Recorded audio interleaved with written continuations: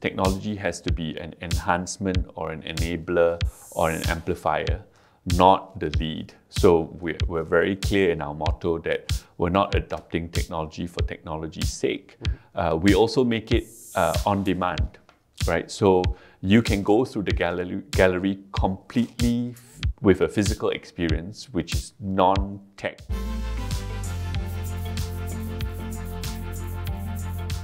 Welcome to the Make Tomorrow podcast, where we venture into the heart of innovation, technology, and the future of business. I'm your host, Tristan Sternson, Senior Partner and Global Co lead of NCS Next. In this inspiring episode of Make Tomorrow Inclusive, we are delighted to welcome Chris Lee, the Assistant Chief Executive of the National Gallery Singapore. The gallery has undergone a radical redesign introducing a new multimodal decentralized ticketing system and a seamless museum experience. Welcome to the episode, Chris. It's Thanks, nice Tristan. to have you. Yeah. So before we get started, I just want to know a little bit about your background and your personal journey into the world of art and technology and how that converged together. It's a little bit accidental, uh, to be honest. I never planned to be uh, in the art sector or with a museum. A short stint has turned up to be almost an eight-year uh, stint with the gallery. Um, my background uh, before the gallery was really largely in multinational corporations, uh, starting in consulting and then uh, moving over to marketing, uh, where I started in consumer goods uh, with uh, packaged goods and then evolved into a tech um, sector with companies like Philips, Sony Ericsson, HP, and then most recently with EMC, a B2B data center cloud computing company that was later acquired by Dell. It feels a bit full circle actually because I started in tech consulting and now end up with uh, you know uh, tech as part of my portfolio, but of course infused with art, uh, where interestingly you don't see the intuitive linkage, but I guess a lot of what we do in marketing is in the creative services and related to visual design and art space. So when I left EMC, I was taking a break um, and just checking things out, you know, thinking about how I could give back uh, to local regional organizations with my multinational experience. I missed the whole launch of the gallery in Singapore.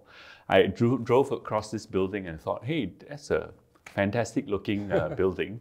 Let's go in, I said to my wife. And it was 6 p.m., I remember that day.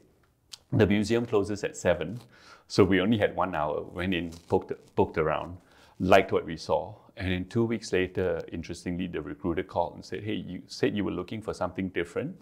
How about this? I was like, Well, okay, you met the brief on different. uh, what am I going to do for them? And, and yeah, eight years later, I'm here uh, doing what I'm doing.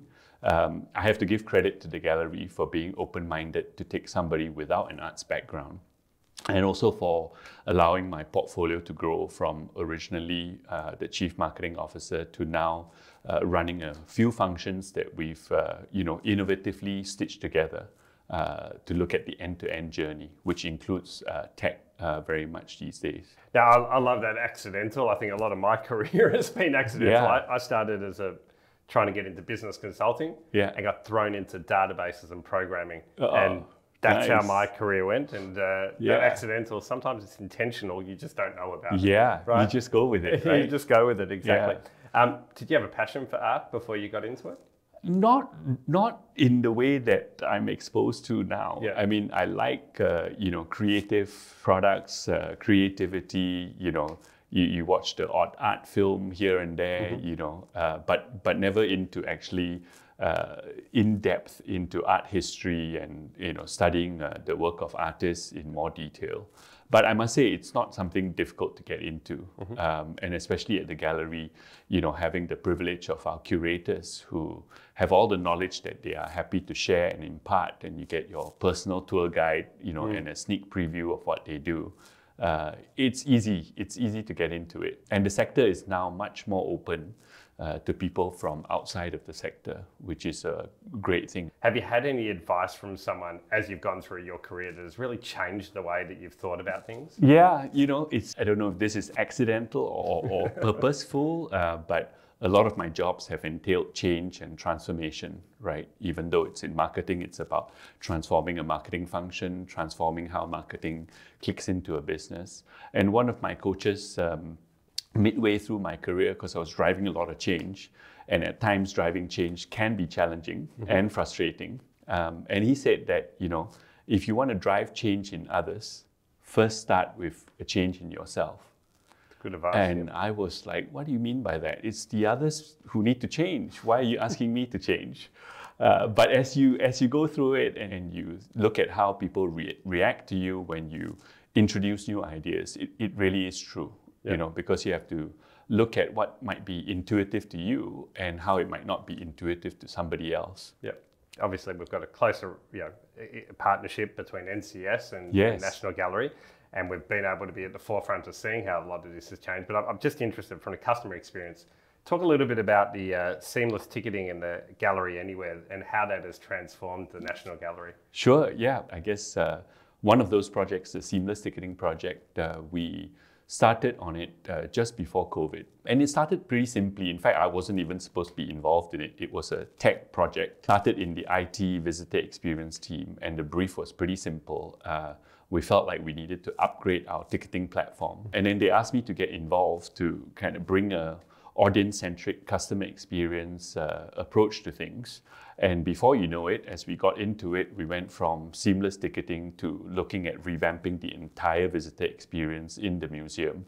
Uh, which was again fantastic that the gallery is so open-minded that mm-hmm. uh, from something very small, uh, we managed to enlarge it. So we looked at the end-to-end visitor experience um, where we considered the physical building infrastructure and experience, but also how to uh, integrate digital technology into it in a sensible way that is making sense for our visitors and our audiences, not tech for tech's sake. Uh, so we looked at how people found us uh, before they come to the museum, how they experience us when they arrive at the museum. It's a big museum, 64,000 square meters of space between the two National Monument building, How they experience the art, uh, what they do when they are in the building, but also what they do after they leave. Uh, and ticketing was just one small part of it, uh, but it was creating quite a bit of friction uh, because as a big, big building, um, we have seven entrances and exits.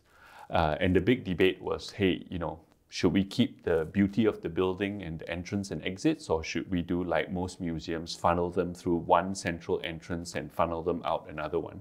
And we thought we didn't want to do that. Um, yeah. And the original design was that wherever you came in from the seven entrances or exits, you had to go to the basement to get your tickets. Mm. Uh, but there were leakages, right? You could bypass that and end up on the third or the fourth floor, and then you'd be told to go all the way back down to the basement. Yep. Uh, so we, we, we looked at that carefully and we said, hey, it doesn't make sense. Let's make what is intuitive sense to the visitor and let's prioritize that. Let's not let our own internal thinking and technology drive how the visitors experience us. Yep. So we took a brave call to say, let's remove the centralized ticketing um, counters at the basement and let's decentralize everything. So technically, you can buy a ticket anywhere you come in uh, with mobile technology. And that's where the multimodal um, uh, design came in because we have a large range of audiences from the very young to the very old, from the tech savvy to the non tech savvy. We couldn't just go overnight from a physical counter experience to just full self service uh, yep. using mobile devices or uh, electronic devices. So we got a mix of both. It took us about two and a half, three years to construct that in the middle of COVID. So we went from, hey, let's have some self-service touchscreen kiosks to the government saying no touchscreen.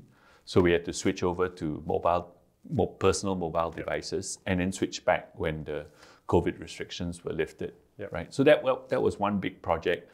Uh, the other thing we did was to fundamentally rethink how people uh, came in and had to engage with buying a ticket, we noticed a lot of visitors spending at least 10 to 20 minutes figuring out which ticket to buy to see which type of exhibitions.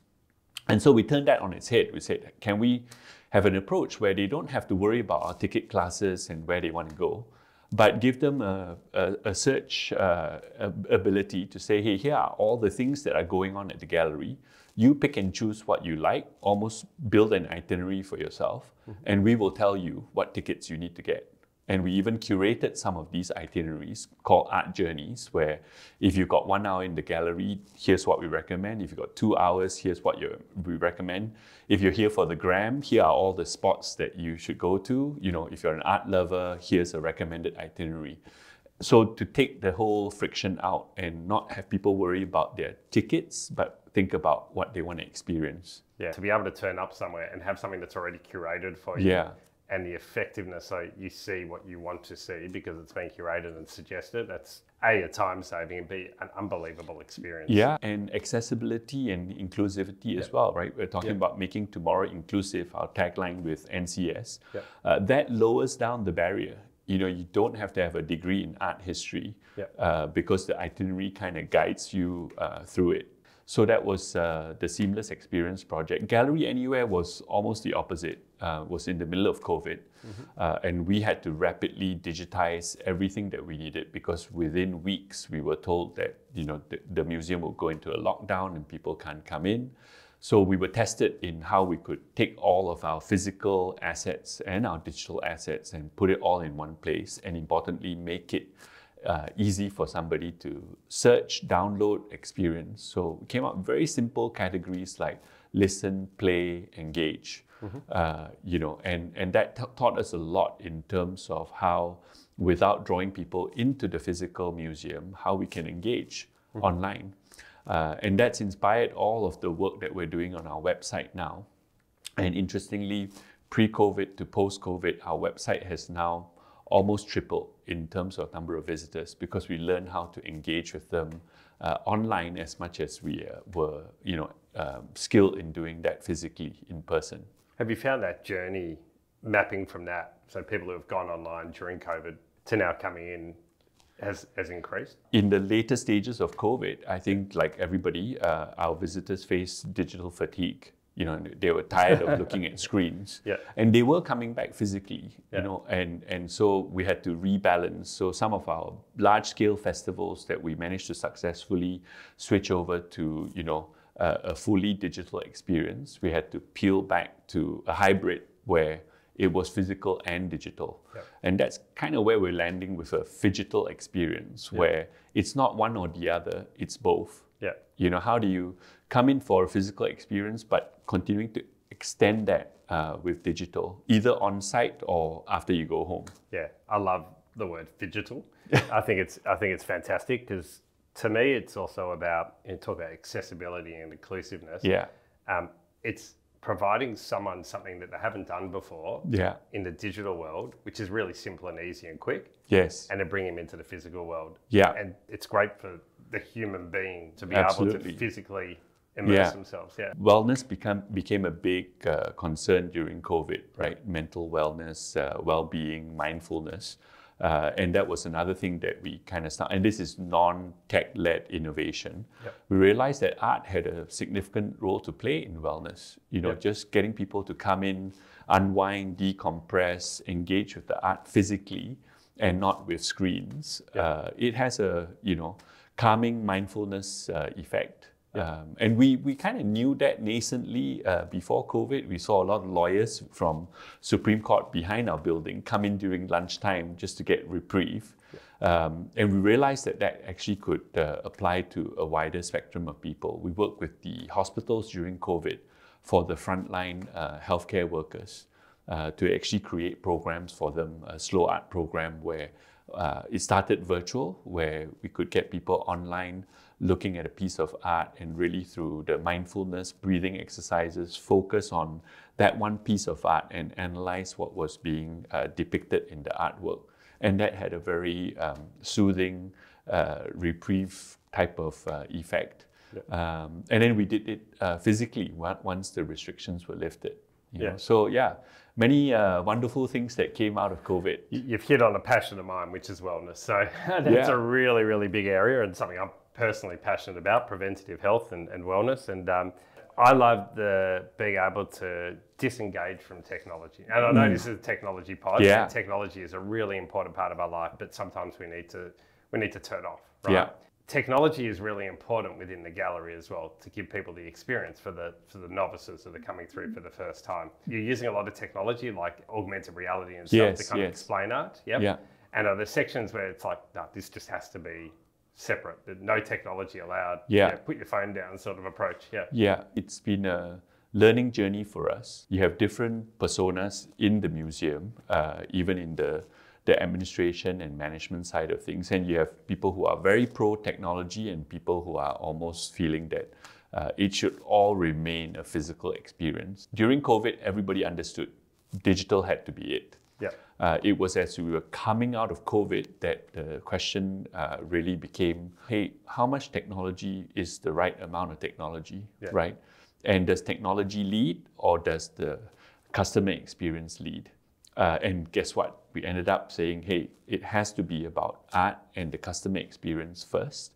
Uh, especially for us, we believe in the power of art physically.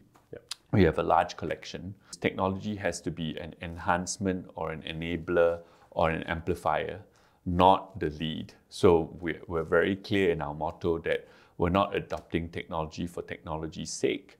Uh, we also make it uh, on demand, right? So you can go through the gallery, gallery completely f- with a physical experience, which is non-tech uh, related.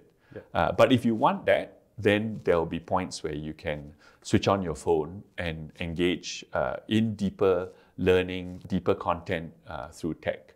Uh, so it's really up to the individual. Uh, again, because we're programming for a very diverse uh, group of people, including some who are less able, right, and not able to access technology. The use of technology in this space is unbelievable because it's it's, It's yeah. a great way to spark curiosity and imagination uh, in the non-art engaged, you know, and non-art lover segment. Because frankly, there's still a perception that art is for uh, those who are educated in art. We've done a lot of research that says, hey, what's the way in? How do we uh, make it interesting for people who are not uh, feeling like they're an art aficionado to engage with art. And technology always comes up as, hey, if you can present technology in a way that engages me in the platforms that I'm used to, I'm more open, right? But how we do that is uh, to focus on the experience. So sometimes we have a debate about, hey, should we go for all the bleeding edge technologies or should we adopt more mature,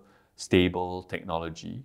and how much gadgetry do we want to get involved? You know, do we put on VR headsets? And and I think we found that it, that that sometimes gets in the way of the experience. It does spark that curiosity. It lowers the intimidation uh, with art, and that's why it broadens the appeal. I guess we look at it from three areas: outreach.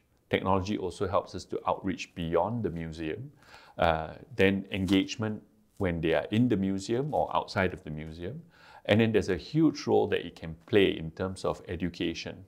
Uh, because interestingly, in our museum, because the artworks are the central focus, the explanations of what the artwork, what the artist's intention was, you know, how the curators have gone about selecting the range of works, typically is quite minimalistic yeah, okay. Yeah. right? You have a very uh, brief and concise art artwork label. Yeah. Uh, but again, I said uh, on demand. So if you have a QR code next to that, if somebody wants to dive in more, they can. Yeah. Uh, so it's it's up to uh, the individual how much they want to engage with the physical artwork and the, the, the online content that we have.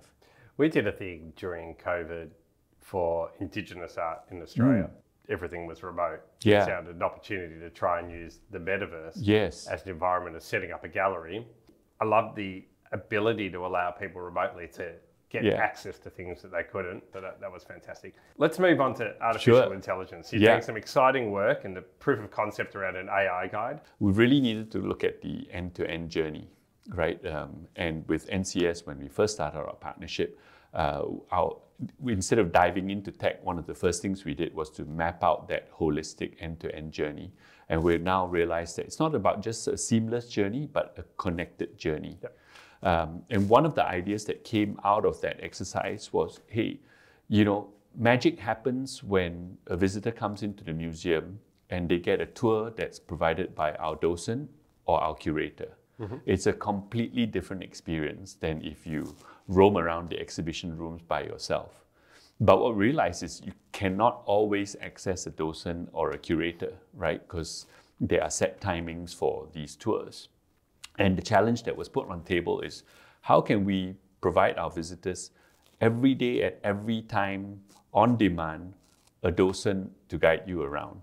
And that was when the idea of an AI guide was born. We do have self guided audio tours already for many years since the beginning of the gallery that somebody can access on their app on their phone. But it's quite different, right? It's one way, it's not interactive. It's a bunch of uh, closed narratives and a very uh, uh, curated experience. Whereas with the docent the, and the curator, it's the exchange and the interaction that is a lot of the magic. Yeah. Uh, so we thought, how, how could we do that? And AI was ramping up, and NCS was brave enough to say, hey, let's take this on. Let's take on an AI docent or AI guide um, and see how to make it work. Um, and so we, we put some effort into it, and now we are in the final stages of a POC. Um, a lot of it was about um, training the AI. Mm-hmm. Uh, the other part of it was about the experience. So we ended up with a audio enabled experience. You could have your headphones and you could chat into your phone. Just have to be aware of the surroundings. So we also enable a text chat um, approach. Uh, but the biggest part of it was really content training of the AI. Uh, and given the line of work that we're in, and we want to make sure that uh, you know we're really educating the audience in the right way about art history, uh, balancing a closed and an open uh, LLM model mm-hmm.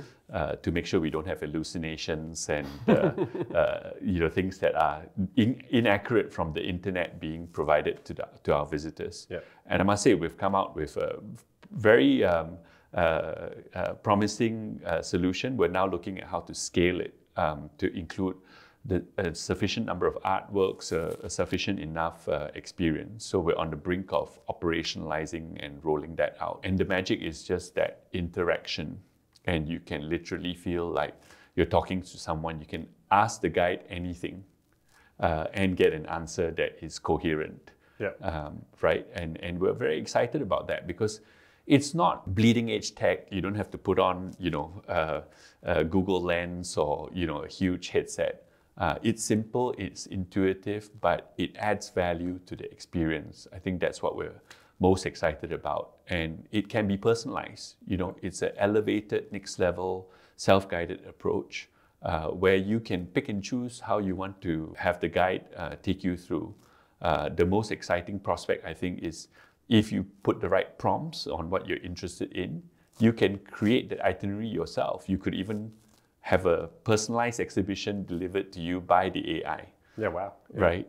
Uh, we also did things with personas and language. Mm-hmm. So imagine you can have a docent who speaks Singlish uh, taking you around. Just going to ask you, yeah. have you got have you used our Singlish model of it? Yes, we found well, that's one that, of the best things. Yeah. That's obviously the benefit of working with NCS, and that that I think uh, in the user testing can. that we yeah can very good ah yeah good ah. the users were like hey. I love this Singlish version. Yeah. You know, talk about making things accessible and inclusive, right? You don't yeah. have to have the Queen's English to navigate. Yeah.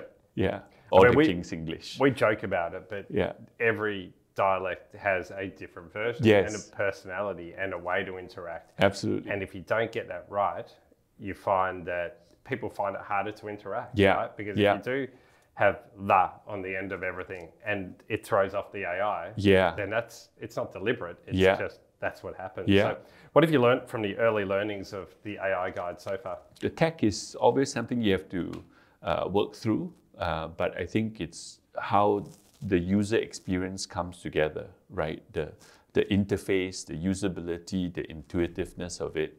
Uh, so a lot of this priming during the uh, training of the AI was about increasing sophistication of our responses, especially to all of these weird out of bound questions mm-hmm. like, hey, you'll be halfway through the tour and somebody says, what's for lunch?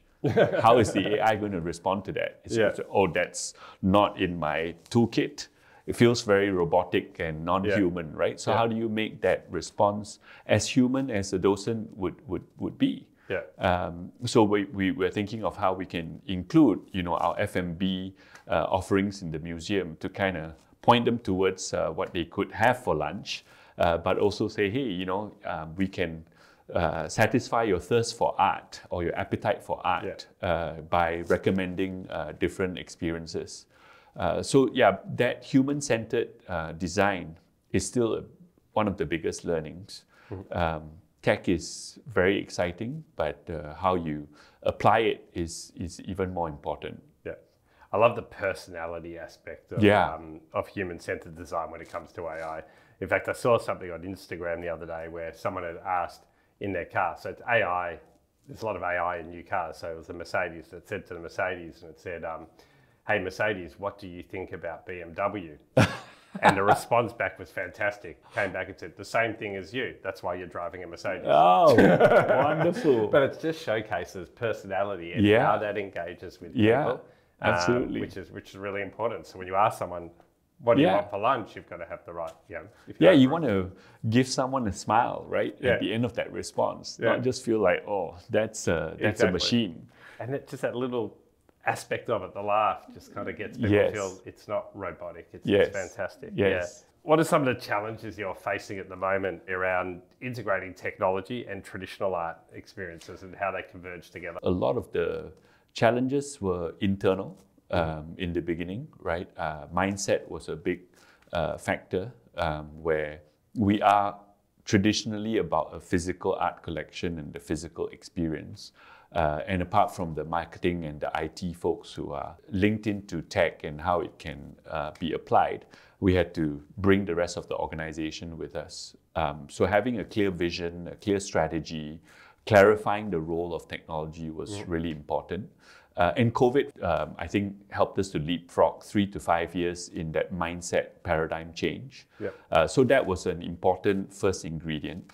Uh, the second part of it is uh, for the artworks in our region, where our artists are typically younger than the Western world, uh, we still have many um, considerations with copyright and intellectual property rights that we have to be careful with. Um, So the images can't just be applied f- as freely as some of the Western world artworks. Uh, so that is something we have to include in our contracts with the artists and the artist estates to include digital presentation as part of the rights. The good thing about this is it forces us to uh, continue to collaborate closely with the artists and the artist estates. If they're living artists, we work directly with the artists. Um, if they're not, then with the estates to make sure they're really comfortable and don't, they don't feel like we're just, um, you know, propagating uh, their works in um, env- environments and platforms that they are not uh, comfortable with. And we never want to be in a position where we feel like um, the artist is feeling exploited or you know uh, we've uh, misdirected how t- their original intention for the artwork was. So uh, it makes it a more uh, robust process. Uh, but it, I think when we look back, because we prioritize um, the the the interests of the artist, uh, it's a good thing Yeah. that uh, we're forced to do that. And then finally, you know, capability building internally. I mean, it's one thing to say, hey, let's be, let's think about art and let's think about technology. How, how do you enable an organization um, to get their heads around it, right? Um, so clarifying vision, strategy, but also that whole um, kind of uh, design thinking, human-centered design, because uh, you don't want to apply tech for tech's sake. But how do you get that uh, uh, infused into almost um, the the everybody in the gallery, right? So it's been a long process of really championing that, finding champions in the organization, and enabling that. Um, and and we kind of worked out that there are four or five factors that we need to look at, right?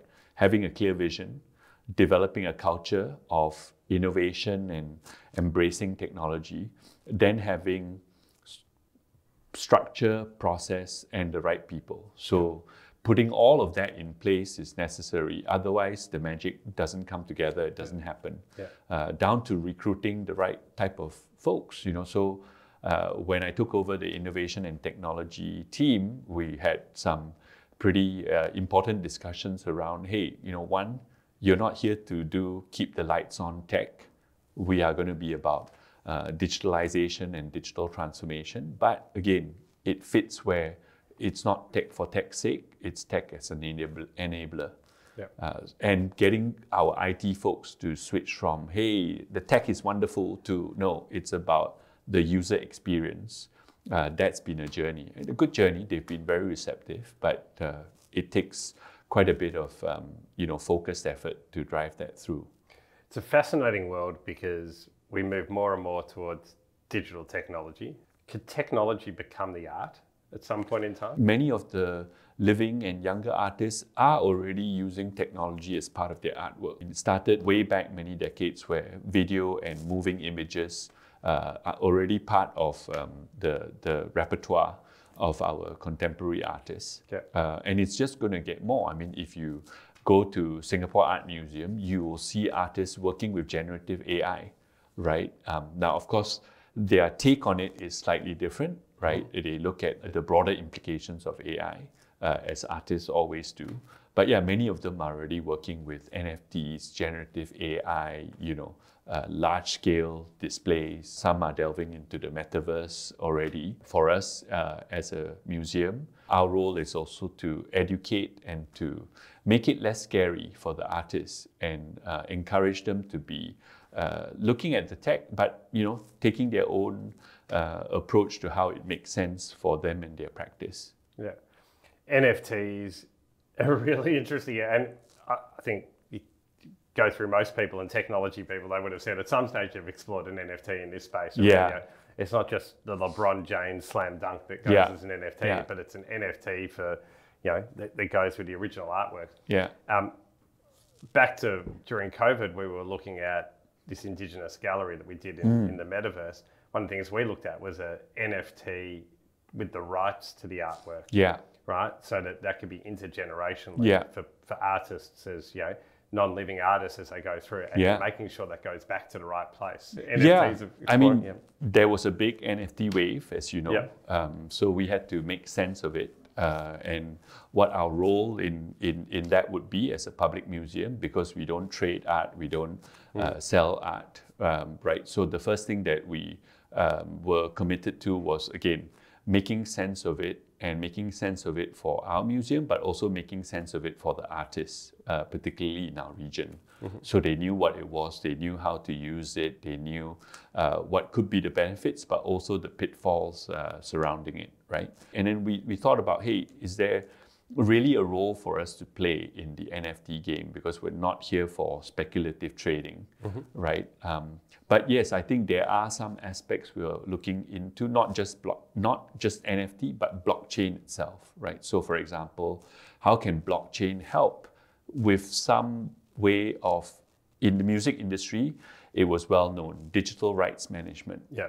right? Now, how do you uh, leverage that and apply it to the visual arts world? And Yeah. we, we actually work with a partner uh, exploring how to do that exactly. We're taking baby steps uh, to make sure that we're comfortable because the digital rights part of it is not fully developed yet, Yeah. right? And so there is still an instance where, hey, once you get an image, uh, you could still literally do anything with it. Yeah. And here we have to respect uh, the interests and the rights of the artist.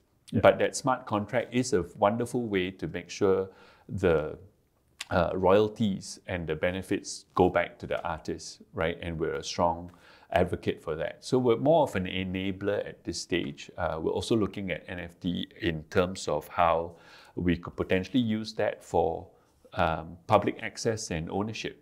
So not for trading and value um, uh, driven, uh, dollar value driven exercises, but if we feel that we have a collection uh, that's a national collection that we want to spread into the arms of um, uh, Singapore residents, how can we give them a fractional ownership of that artwork? Yeah. Right, with the right model, with the right artists, and uh, with the respect that we need to uh, ensure. I like it because of the transparency of these technologies, but it's the governance that needs to Yes, come in. That's yes. right. And once that comes in, it can be quite effective. So, Yes. Um, generative AI, and, and you de- obviously deal a lot with the artists. Do you see that as a risk or an opportunity? I think it's both. Yep. um, you know, and, and you need to take a balanced view. Working closely with the artist is important because clearly, yeah, it brings up ethical, moral, um, you know, questions. A lot of the time, it's how we leverage the tech that is the difference between hey, this is AI for good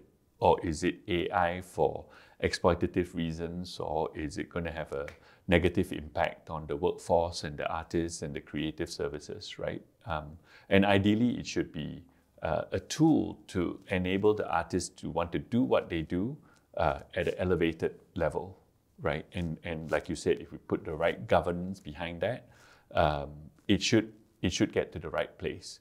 Uh, but you have to start with the right mindset to say, hey, we're doing this not f- to um, yes, to make it make things easier for our users and our visitors, but we need to balance the interests of our stakeholders as well. There's so many different areas you can go into with generative Yeah, AI. and we're actually that- yeah. working uh, on on a project Yeah. where we're using generative AI and large scale holographic display with a living artist and Yeah. seeing how we can make that part of the experience for our visitors. Yeah. Right. So it's not that far away. It's actually right at our doorstep.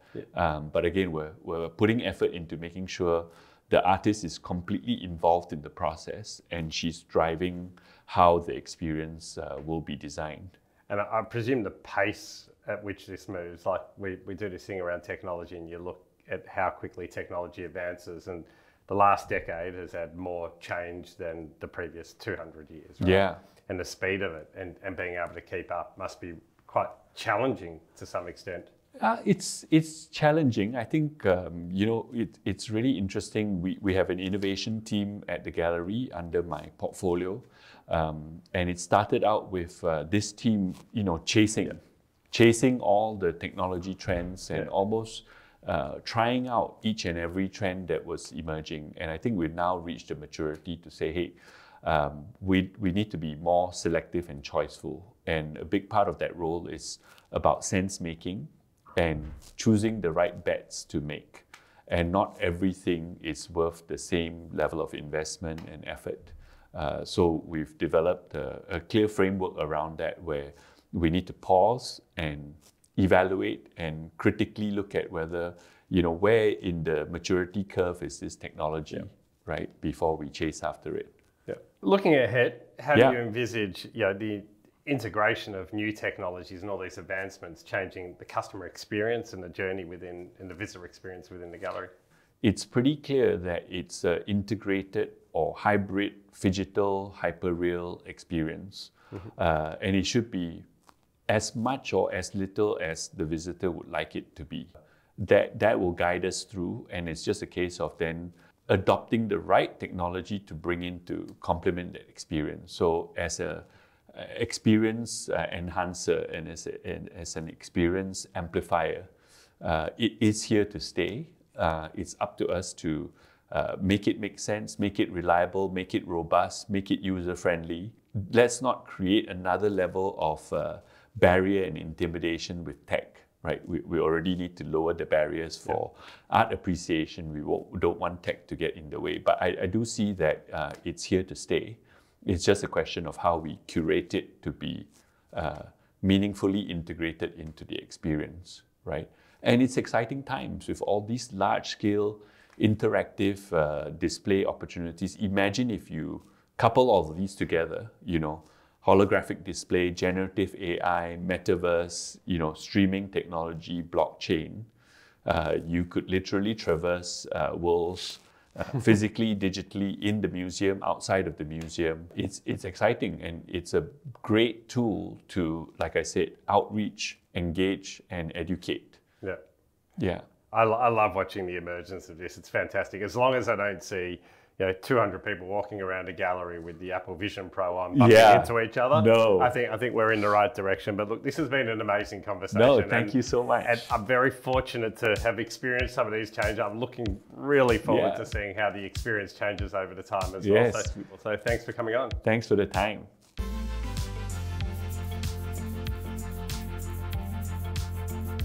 If you found today's episode interesting and want to hear more about our Make Tomorrows, please subscribe to our channel.